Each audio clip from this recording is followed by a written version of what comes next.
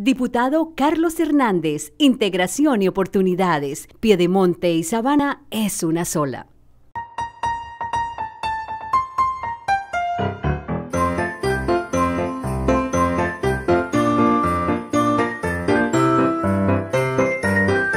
Y la Unidad de Salud de Arauca inició campaña de vacunación contra el sarampión en las zonas que fue llevada la menor. Buscan contrarrestar el virus. La Unidad Administrativa Especial de Salud de Arauca mediante vacunas realiza un bloqueo en la vereda de La Arenosa del municipio de Arauquita por posible caso de sarampión. Respecto al caso, ya tomamos las medidas. Lo primero que todo se hace es un bloqueo vacunal. Eh, en la vereda La Arenosa se acudió el día 28, el día 29 y el día de hoy se continuó porque no se ha terminado de cubrir todas las casas, hay que verificar antecedentes vacunal de los niños y los adultos.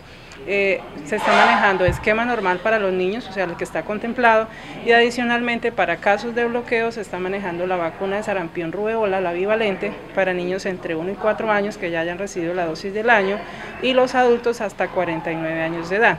Como esta niña hizo una circulación entre Arauquita, fue atendida en PF1, en Caño Limón, estuvo hospitalizada en el hospital de San Vicente, entonces vacunación eh, hace todo este recorrido. La unidad de salud espera el permiso para poder ingresar al complejo petrolero de Caño Limón para iniciar la vacunación contra el sarampión. Ya se está esperando el permiso de Caño Limón para ingresar a vacunarlas, eh, hacer un bloqueo allí.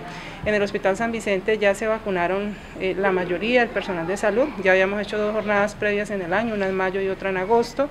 Ayer se vacunó las personas que estaban pendientes, solamente nos hace falta un auxiliar de enfermería y eh, estamos en espera de que Vigilancia nos genere más información para buscar todas estas personas que tuvieron contacto con el Hospital San Vicente durante los días que el niño estuvo hospitalizado y eh, poder ir a buscar todas estas personas y hacer bloqueo vacunal. Por ser un departamento de frontera, el sarampión se puede adquirir. Somos un departamento de frontera y estamos en un altísimo riesgo.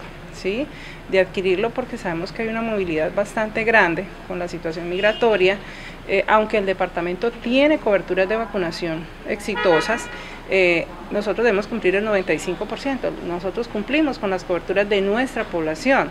Eh, con respecto a la población migrante se viene vacunando igual, el mismo esquema de vacunación colombiano, eh, es gratis, la Organización Panamericana de la Salud nos ha venido apoyando con cuatro vacunadores que están ubicados eh, en el puente internacional y en la Cruz Roja para vacunar exclusivamente migrantes y personas colombianas que quieran acceder a este punto. Además, ACNUR también nos han colaborado con algunos eh, elementos como carpas y la OPS que también nos apoya con insumos. El departamento de Arauca está en alto riesgo y es por eso que se realizan estas campañas de vacunación. Eh, estamos en alto riesgo, ¿no?